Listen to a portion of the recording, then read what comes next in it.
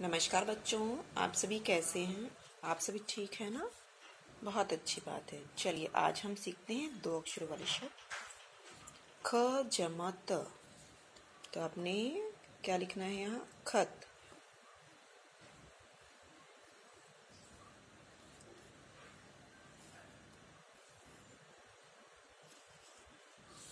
ये क्या है? द, जमा, स, दस।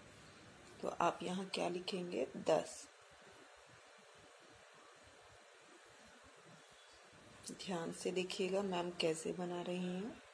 आपने भी वैसे ही बनाने की कोशिश करनी है। नेक्स्ट ज, जमा ग। किसी से पिक्चर है ये? जग।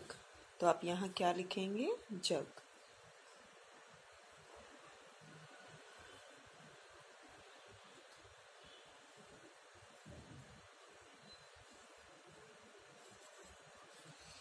नेक्स्ट व जमाना ये क्या है? बहुत सारे पेड़ है ना? तो कहाँ होते हैं? वन में तो आप यहाँ लिखेंगे वन।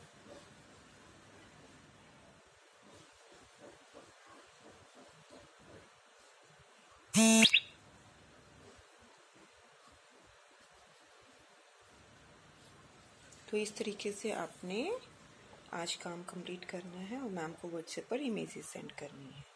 घर रहिए, स्वस्थ रहिए, धन्यवाद।